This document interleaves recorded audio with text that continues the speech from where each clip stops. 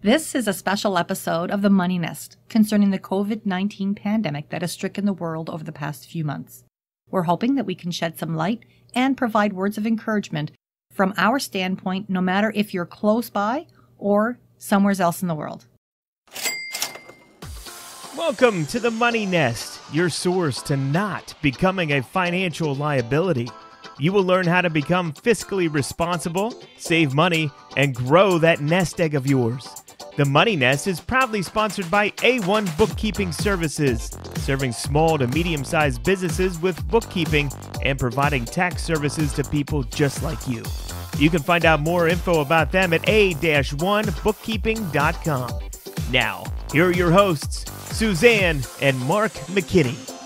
Welcome, everyone. I'm Mark and very pleased that you could join us today for this exciting episode. And I'm Suzanne. I'm glad that you took the time out of your day to listen to this special episode here at the Nest. We have our guest host in today. Please say hello to our awesome cohort, Tammy Moran. She works as a payroll specialist and cares about your money and its impact on your life too. Hi, everyone. So glad to be here.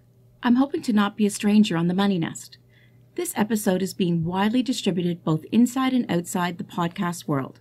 So, if you're listening outside of a podcast player, then you can catch this and all the other episodes at themoneynest.com, or you can look us up on your favorite podcast player.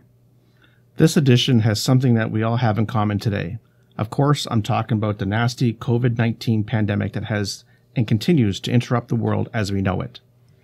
We never thought in the early stages of releasing the Money Nest that we'd feel that we need to have such a discussion of this nature. You may ask, why are we talking about this subject here? We aren't medical professionals. But we do deal with financial matters, and short of illness, financial problems can happen in many ways. So we felt it was necessary to pass along our thoughts today to add some common sense into the mix. You couldn't be more right. We were hit with this whole pandemic rather quickly, although we knew it was something a while ago, but as it grew bigger and more deadly around the world quickly, it became a much more noticeable problem for sure. Our intentions here are not to create a regular episode of The Money Nest, but we want to provide you with a quick overview of how it may impact your finances. Something that you should keep in mind, though, is that the financial issues you had going into this pandemic and the financial issues that you create during it will still be there when this all blows over. This podcast is heard all over the world, and likely governments in your country, province, or state are doing things to help ease the burden, to make things easier to deal with. It's not the government's job to replace your income, pay your bills, but is there to lessen the impact on your day to day routine and financial responsibilities. That's right, Mark. And don't forget, people, that you need to find out if this money that you're going to be receiving from your governments is taxable. Because if it is taxable, you need to make sure you set that amount of money aside come tax time so that you don't have any surprises. We don't have the solutions or the ability to have answers to all your financial concerns, as everyone's case is different. One thing we do have in common is solidarity, and it's not something that is only happening in Asia or Africa or South America. It is impacting pretty much every corner of the world, including our backyard. Now, some people can weather the storm a little easier than others, and for those that are okay, well, now is the time that you need to step it up and see what you can do for others. Of course, all the while keeping yourself and others safe. You need to be careful not to break social distancing rules and be more mindful of those that are more vulnerable to this virus. These are trying times for sure. People don't adapt to change very well. In our area, most people are doing quite well with the changes, but there are still some folks who don't take it seriously as others, though. We have noticed along the way that businesses are adapting the best way they can. It's not like anyone had a playbook to pull out on what to do when the world changes so drastically and quickly. With that said, if you do have a business and are trying to stay afloat, you can help yourself, your employees, and the community greatly by keeping things as normal as possible with some adjustments along the way. But normality is what everyone is looking for, so if you can do it, do it. There are several government programs that have already been rolled out, and because of the ever changing times, the programs are being tinkered with and adjusted every day to help businesses and people the best way possible. It is vital that you find the time you need to make the time to check with your local and federal governments to see what you may be entitled to to help get you through this. Here at our office, we are doing all we can to help our clients. Keep in mind that many of the programs are not meant for us to do all the legwork. In fact, It may be up to the employees or business owners to do their part, not necessarily that of their bookkeeper or financial advisor. Depending on the relief package that is being offered, of course, you may get some or a lot of help. For others, there may not be anything available.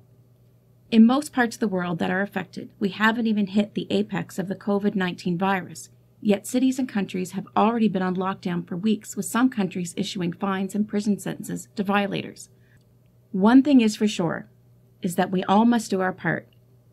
We may have to sacrifice a little, or in some cases, a lot, to fight this battle. No person is immune to the virus, and many are more vulnerable than others. This isn't something that we would normally have to consider, but we're in this for the long haul and we must see what we can do to ease the pain for many others. If this problem doesn't impact us now, and if it goes on too long, then it will start impacting us more and more. It'll impact businesses and people every day. Don't forget to plan for tax increases that will be coming after all of this. Someone needs to pay for all of these stimulus packages. At the end of the day, not only are we trying to do our part and help our community and society as a whole, but we want to pass along our thoughts and advice where we could. Even if it's just to help settle someone's mindset or get them on the right path to understand that now is the time to make or break it. Meaning that the extra time that you have, you should make good use of it. That's right. You should apply for programs, help others out, keep your business going to the best you can as long as you can.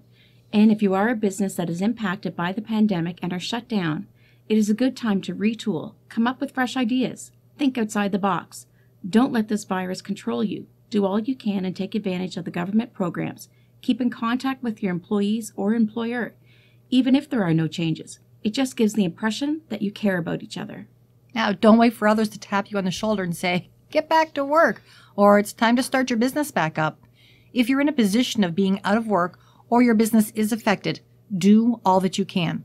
Others joke that Netflix is the go to place at a time like this, but that gets old pretty fast and it won't help you out in the long run. We all must look forward to see what's on the other side of the mountain before we get there. Once this virus is history, and it will be, anything that we've done or have not done will impact us when it's over. It all just doesn't go away. The problems will still be there, but now they'll be amplified. Short and sweet. That's what we're intended to be here. But with that said, it's time to wrap things up for a special episode. We hope you found our comments useful and maybe helped to provide a spark of hope along the way.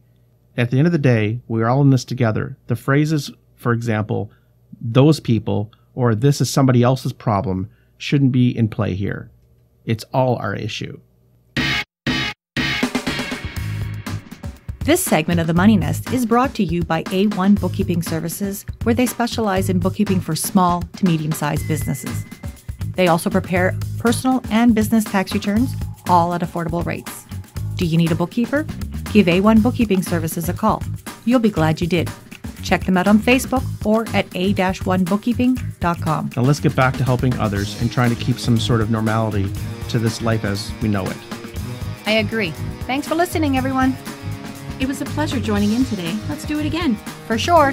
Bye now and stay safe. Bye bye. You've been listening to The Money Nest with your hosts, Suzanne and Mark McKinney, brought to you by A1 Bookkeeping Services. We're your source to help you become financially successful while assisting you in building for your future. For more information, visit us at themoneynest.com or send an email to info at themoneynest.com. Don't forget to subscribe so you can be notified when our next episode is released.